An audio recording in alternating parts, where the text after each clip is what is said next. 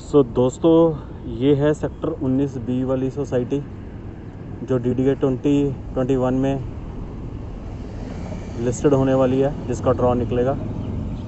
तो इसमें साढ़े तीन सौ फ्लैट है। तो ये मैं आपको अंदर से नहीं, इसकी लोकेलिटी दिखा रहा हूँ, बाहर से। तो आपको आइडिया लग जाएगा कि कैसा है। ये देखिए, और जो नाले की बात की जा रही है इसके साथ वो ये वाला ड्रेन रहा।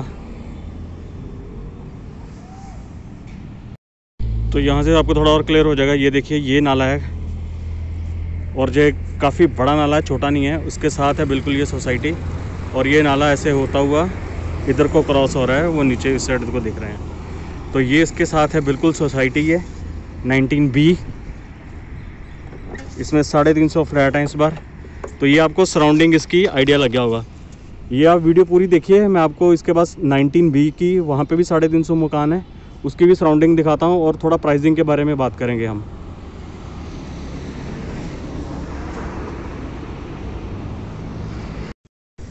सो ये दोस्तों सेक्टर 16 बी की साइट है। इसमें भी साढ़े तीन सौ फ्लैट हैं और इसकी बिल्ड 19 बी वाली से ज़्यादा बढ़िया है। 16 बी वाली ज़्यादा बढ़िया है। और जो इसका प्राइसिंग में भी बोला गया है, वो भी 10 से 15 लाख का डिफरेंस रहने वाला है तो ये 10 से 15 लाख महँगी रहेगी उससे। तो ये इसकी सराउंडिंग है, देख पा रहे होंगे। और इससे जो नियर बाई मेट्रो स्टेशन है, वो ये रहा सामने सेक्टर चौदह का मेट्रो स्टेशन वो दिख रहा होगा। और उसके जस्ट पीछे है, आपका और और उसके पीछे है आपका वेगस मॉल ठीक है? तो ये रही सोसाइटी दोबारा। तो दोस्तों पॉइंट जो मैं हाईलाइट करने जा रहा हूँ, वो ये है, अगर तो आप सेविंग पर्पज़ से ये मकान लेना चाहते हैं, दोनों दोनों टू बी के हैं तो मेरी सलाह में ये बिल्कुल गलत इन्वेस्टमेंट होगी, क्योंकि डी डी ए का इन लेमन टर्म बोलूँ ए का हो गया दिमाग ख़राब।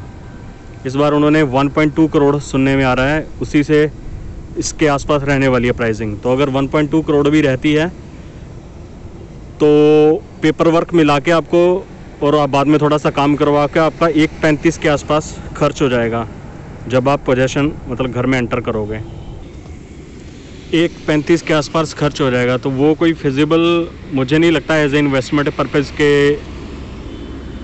लिए ये ठीक है। इसका रीज़न बीइंग एक तो ये सारा ऑब्वियसली आजकल वाइट मनी वाला कंसेप्ट है और डीडीए का है तो सारा वाइट मनी ही आपको शो करना पड़ेगा।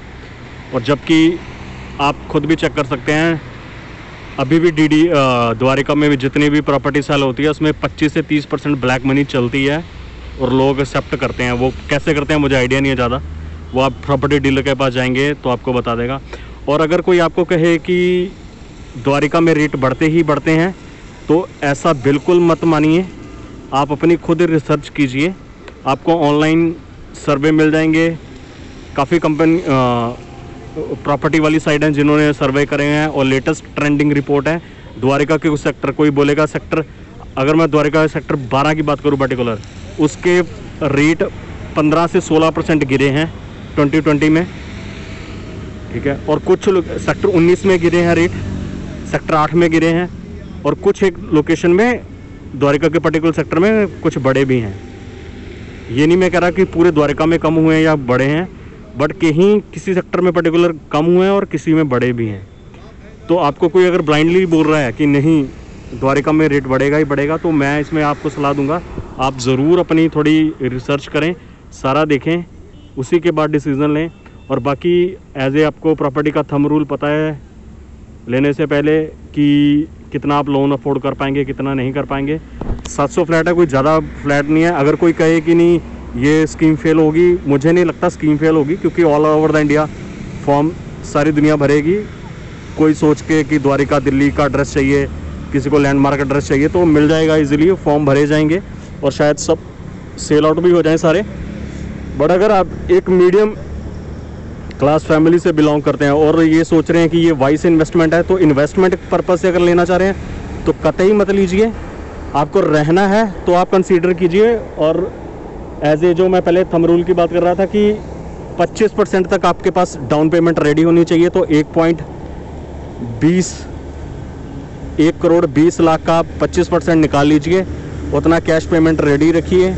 बाकी उसके बाद जो निकलेगा, आप उस पर कितना लोन लेना चाहते हैं, नहीं लेना चाहते हैं, वो आप नेक्स्ट फर्दर आपके डिसीज़न पे रहेगा, कितना आपके पास लिक्विड पड़ा है कैश या कितना नहीं है।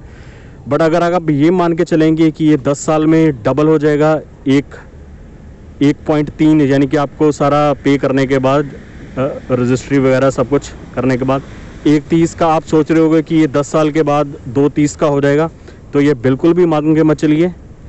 पिछले तीन चार साल का सर्वे निकाल के देख लीजिए। आफ्टर द डीमोनेटाइजेशन और उसके बाद थोड़े जो जीएसटी वगैरह कंप्लाइंस आए हैं द्वारिका में प्रॉपर्टी इतनी ज़्यादा ग्रोथ नहीं हुई है तो वाइजली इन्वेस्ट कीजिए, मेरा यही कहना है आपका। और ये कोई छोटी अमाउंट नहीं है। डीडीए ने मेरे हिसाब से 30-35 लाख रुपए ज़्यादा मांगे हैं, जो बिल्कुल जस्टिफाई नहीं है। और वो भी टू बी के लिए। थ्री बी के होता तो भी कंसिडर कर सकते थे। अगेन मैं सर्वे की बात पे आता हूँ तो मेजॉरिटी जो लोगों की पसंद है नो डाउट वो टू बी के लोग ज़्यादा प्रेफर करते हैं sixty percent but in the same ratio sixty percent लोगों का मानना है कि मकान की रेंज भी साठ लाख तक होनी चाहिए। सिर्फ़ एक करोड़ के ऊपर उन्नीस परसेंट उन्नीस से बीस परसेंट लोग हैं जो सहमत हैं इतना महँगा मकान लेने के लिए, और वो भी जो एक से एक प्लस करोड़ खर्चने के लिए तैयार है तो उसको फिर एड्रेस लोकेलिटी और घर का साइज़ क्वालिटी भी वैसी ही होनी चाहिए। कि आप जस्टिफाई कर सके उतनी बड़ी अमाउंट को। ठीक है?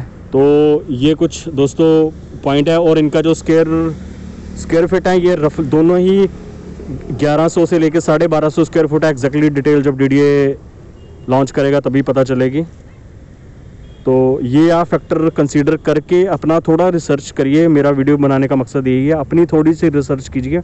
प्रॉपर्टी डीलर या किसी के बहकावे में मत आइए और आप जस्टिफाई अगर कर पाएँ इतनी बड़ी अमाउंट 1.3 सीआर तभी लीजिए, आपको रहना है तो लीजिए इन्वेस्टमेंट पर्पज़ बिल्कुल नो और आपको एड्रेस के लिए चाहिए, अच्छी लोकेलिटी चाहिए, उसके लिए थम्स अप है, उसके लिए नो डाउट द्वारिका में वेल प्लान्ड